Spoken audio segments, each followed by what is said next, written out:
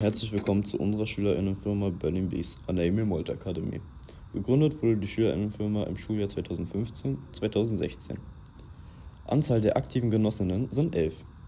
Jetzt ein paar Infos zu unserer Satzung. Der Sitz von Berlin Bees liegt in der Monumentenstraße 13b in 10829 Berlin-Schöneberg. Zweck der Schülerinnengenossenschaft ist die Förderung und Betreuung der Mitglieder. Dadurch stärkt es die persönlichen und die sozialen Kompetenzen der Schülerinnen. Gegenstände des Geschäftsbetriebes ist es die Produktion und der Verkauf von Honig und Lippenbalsam zu tätigen.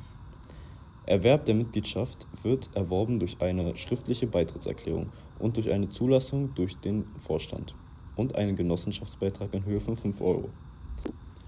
Es gibt aktive Genossinnen, die immer arbeiten und passive, die in der Schülerinnenfirma investiert haben, zum Beispiel Lehrerinnen, Elternteile und ehemalige Schülerinnen.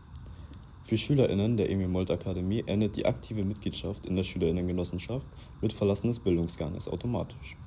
Für SchülerInnen kann eine passive Mitgliedschaft bestehen bleiben. Die passive Mitgliedschaft kann durch Kündigung oder Ausschusses beendet werden. Unsere Schülerinnengenossenschaft hat vier Bienenvölker. In einem Bienenvolk leben zwischen 40 und 80.000 Bienen. Es gibt weibliche Arbeitsbienen, mehrere hundert männliche Drohnen und eine Bienenkönigin.